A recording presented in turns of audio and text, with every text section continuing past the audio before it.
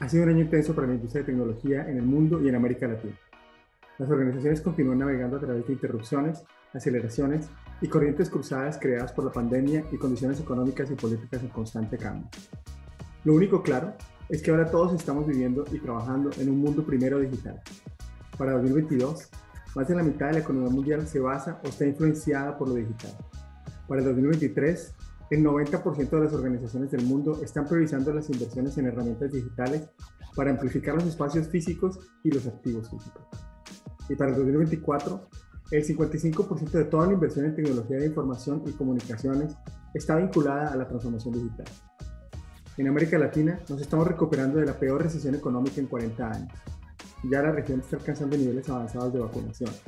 El empleo se está recuperando. Los precios de productos que América Latina exporta están subiendo. Hay dinero ahorrado en los estratos socioeconómicos altos y en las empresas, particularmente las empresas grandes. Y hay aún demanda reprimida en la mayoría de las industrias. La combinación de estos factores es combustible para crecimiento sostenible.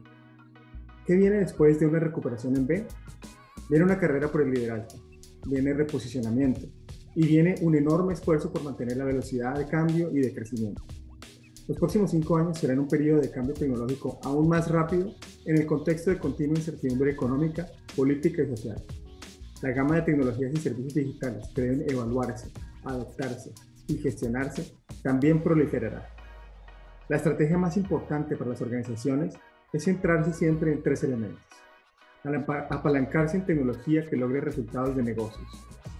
Usar, proteger y gobernar mejor los datos. Y optimizar la operación tecnológica potenciando experiencias físico-digitales para clientes, socios y empleados.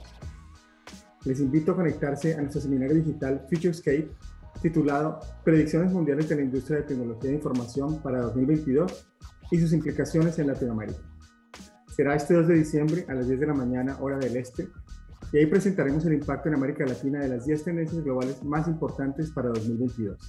Les esperamos. you